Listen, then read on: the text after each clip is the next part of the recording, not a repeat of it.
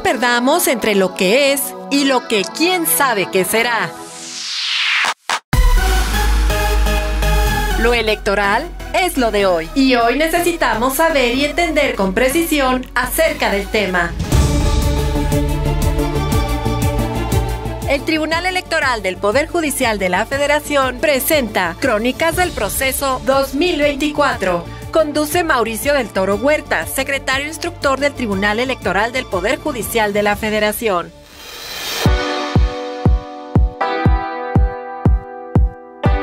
Crónicas del Proceso 2024. Es un espacio de comunicación para la ciudadanía en el cual personal jurídico del Tribunal Electoral del Poder Judicial de la Federación expondrá las principales claves para entender de manera sencilla los temas relevantes de la elección más grande de la historia de México. En esta emisión hablaremos del dinero y las elecciones, financiamiento y fiscalización. Acompáñanos.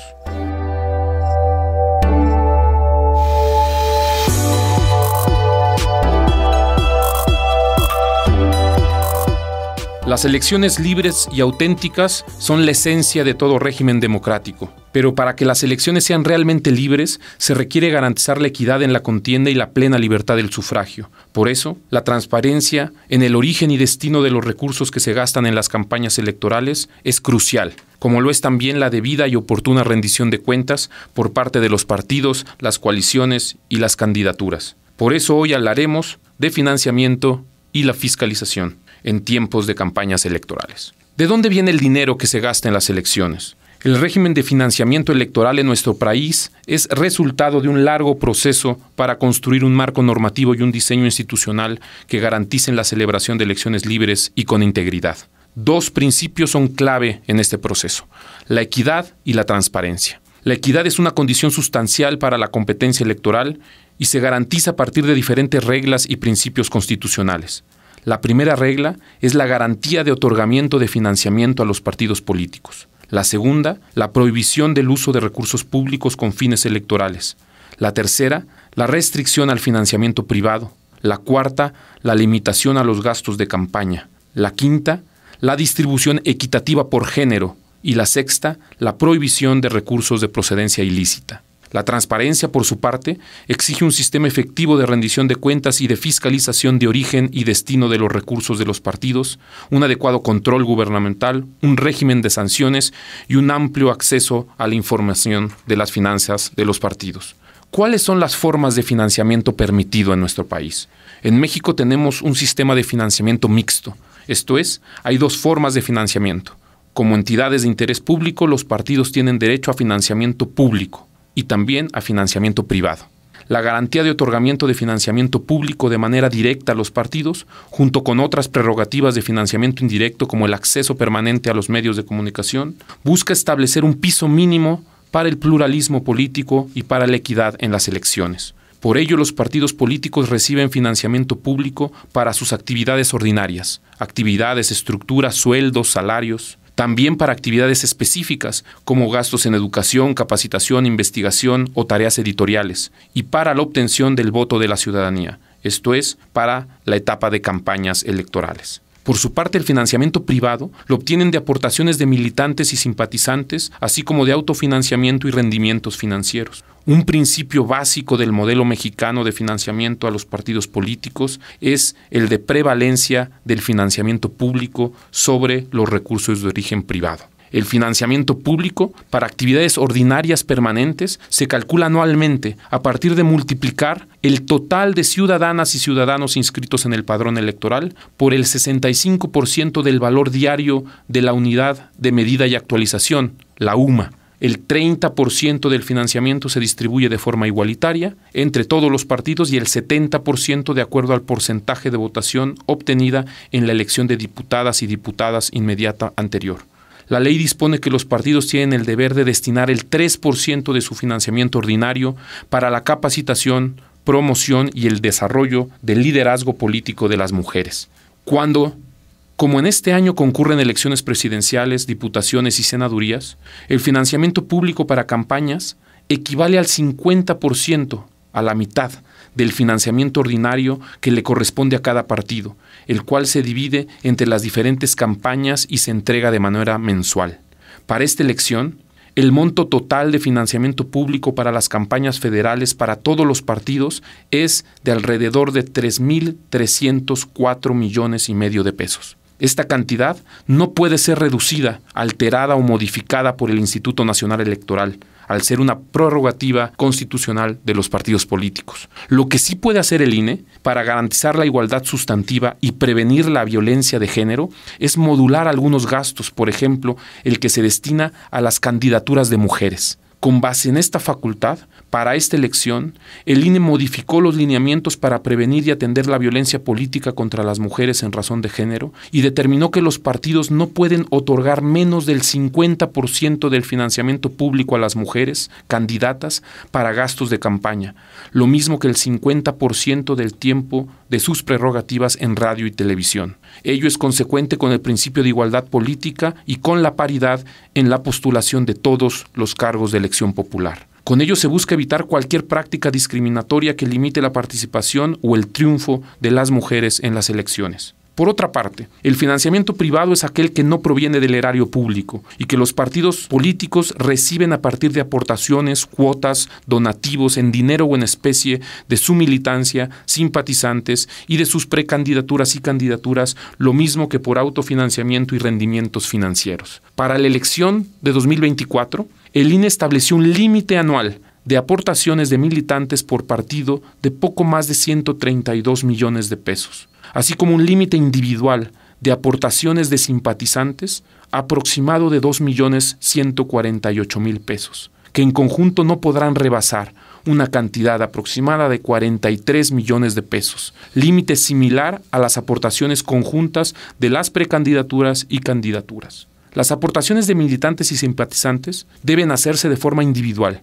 de manera directa y en las cuentas destinadas exclusivamente para ello nunca podrán hacerse a través de descuentos vía nómina a trabajadores. Las aportaciones en especie abarcan donaciones, el uso de bienes muebles e inmuebles, así como servicios que sean otorgados de manera gratuita, voluntaria y desinteresada. ¿Qué otros límites existen al financiamiento de los partidos políticos? Existen límites al ingreso o al origen de los recursos y límites al gasto o a su destino. Así, fuera del financiamiento público, está prohibido aportar o recibir en dinero o en especie cualquier tipo de recurso de entidades gubernamentales, de los poderes ejecutivo, legislativo y judicial, y de cualquier otra dependencia pública federal, estatal o municipal, incluyendo los organismos autónomos. Asimismo, se consideran ingresos prohibidos y es obligación de los partidos rechazarlos, cualquier apoyo económico, político o propagandístico proveniente de partidos, personas o gobiernos extranjeros, organismos internacionales de cualquier naturaleza, personas morales, empresas mercantiles, personas físicas con actividad empresarial, sindicatos, ministros de culto, asociaciones u organizaciones de cualquier tipo de religión o iglesia y evidentemente del crimen organizado, aquellos entregados de manera anónima o por persona no identificada o cualquier recurso de procedencia ilícita. Está prohibido también recibir aportaciones o donaciones en efectivo, así como metales y piedras preciosas de personas físicas o morales y préstamos personales. Para garantizar la transparencia, la equidad, y la rendición de cuentas, existe un registro nacional de proveedores, en el cual deben inscribirse todas las personas físicas o morales nacionales que vendan, enajenen, arrenden o proporcionen bienes o servicios de manera onerosa a los partidos y candidaturas para su operación ordinaria o durante las campañas electorales. Los proveedores inscritos en el registro nacional son los únicos que pueden proveer de bienes y servicios a los partidos y candidaturas cuando el monto de operación supera las 1.500 UMA, esto es, aproximadamente los 162.800 pesos. Las rifas y sorteos también están regulados y requieren permiso de la Secretaría de Gobernación, lo mismo que los ingresos a través de llamadas telefónicas a cargo de tarjetas bancarias. Otro límite al gasto o destino de los recursos de los partidos y candidaturas se relaciona con la modalidad, el monto y el destino del pago. En principio, conforme al reglamento, los pagos que rebasen la suma de 90 días de salario mínimo, algo más de 22 mil pesos, deben hacerse mediante cheque librado bajo abono en cuenta o por transferencia electrónica. Y con independencia de su modalidad, cada pago debe ser plenamente identificado con los comprobantes y pólizas respectivas. Está permitido el pago a militantes y simpatizantes como reconocimiento por sus actividades de apoyo en campaña, los cuales están sujetos también a límites máximos por persona. Asimismo, se establecen normas de control del gasto de propaganda, impresos, anuncios espectaculares, propaganda en salas de cine, en Internet, etc., así como de producción de los spots, los viáticos y pasajes de candidatas y candidatos, los gastos de eventos políticos y casas de campaña. Solo están permitidas las erogaciones fuera de territorio nacional para actividades ordinarias, estando prohibida la realización de actos de campaña en el extranjero. Todo evento político de campaña debe ser registrado en la agenda de eventos, cada semana y con al menos siete días de antelación. Existen otras medidas de control del gasto y el destino de los recursos durante las campañas que tienen por objeto garantizar la transparencia y la rendición de cuentas, entre ellas la debida transferencia de recursos de los partidos para el desarrollo de las campañas federales, así como de las coaliciones. No obstante, están prohibidas las transferencias en efectivo o en especie entre precandidaturas y candidaturas de mayoría relativa, locales o federales. Ahora bien, la normativa electoral prevé el establecimiento de topes de gastos de campaña. Los gastos de campaña y los topes que se establecen los establece el Consejo General del Instituto Nacional Electoral, considerando las fórmulas previstas en la normativa y atendiendo y considerando el 20% del financiamiento de campaña establecido para todos los partidos en la elección anterior. Así, para la elección actual, el tope de gastos de campaña para las candidaturas a la presidencia es de poco más de 660 millones de pesos, para diputaciones de 2 millones 200 mil aproximadamente y para senadurías varía dependiendo la entidad desde poco menos de 4 millones y medio en estados como Baja California Sur y Campeche hasta poco más de 44 millones para los estados de México, Ciudad de México o Jalisco, dependiendo del número de distritos por entidad. Definidos los límites al financiamiento y los topes de gasto, cabe preguntarnos, ¿quién, cómo y cuándo se fiscalizan los recursos de los partidos políticos, coaliciones y candidaturas? Pero antes, una pausa promocional del Tribunal Electoral del Poder Judicial de la Federación. Soy afromexicano y el Tribunal Electoral garantiza mi participación. Resido en el extranjero y gracias al Tribunal Electoral puedo ejercer mis derechos. Pertenezco a la diversidad sexual y de género. Y el Tribunal Electoral ha reconocido los derechos por los que lucho. Soy indígena y el Tribunal Electoral asegura que mi voz sea tomada en cuenta. Soy persona con discapacidad y el Tribunal Electoral garantiza que sea escuchada.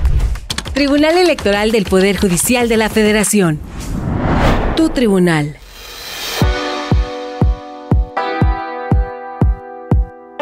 Estamos de vuelta. Ya hablamos del financiamiento, nos toca hablar de la fiscalización de los recursos de campaña. La fiscalización de los recursos públicos de los partidos es una de las tareas más complejas y arduas que realiza el Instituto Nacional Electoral. Existen cuatro ejes que caracterizan la fiscalización a partir de la reforma electoral de 2014.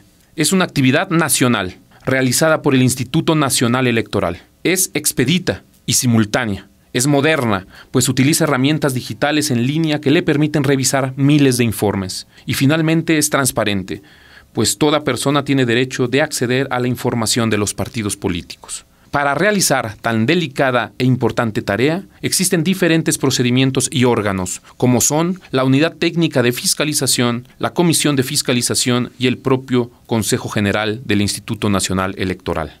Ellos llevan en el ámbito de sus atribuciones la tarea de revisar, comprobar, informar, asesorar, investigar, verificar, dictaminar y sancionar las irregularidades relacionadas con el origen y destino de los recursos de los partidos y candidaturas, entre otros sujetos obligados. Es importante distinguir los dos tipos de procedimiento administrativo en materia de fiscalización. Por una parte, el procedimiento de revisión de informes, mediante el cual la autoridad ejerce su facultad comprobatoria sobre lo reportado en los informes de los sujetos obligados respetando la garantía de audiencia a partir de comunicar los errores y omisiones que puedan cometer y determinando si existen irregularidades y en su caso imponiendo la sanción correspondiente. Por otra parte, está el procedimiento administrativo sancionador en materia de fiscalización, que inicia a partir de una queja o denuncia a petición de parte o de manera oficiosa, cuando las autoridades tienen conocimiento de hechos que pueden constituir una infracción relacionada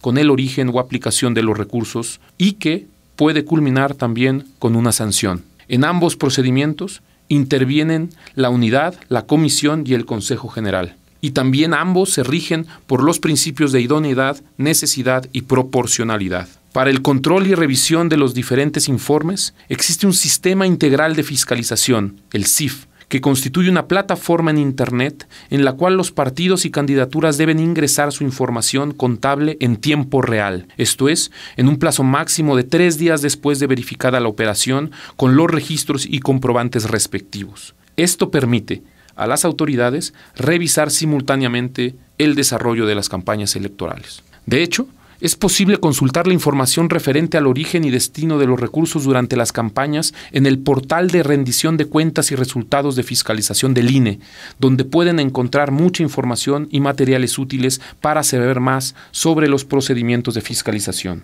Durante el periodo de campaña, los partidos deben presentar sus informes por periodos de 30 días, dentro de los tres días siguientes a la conclusión de cada periodo.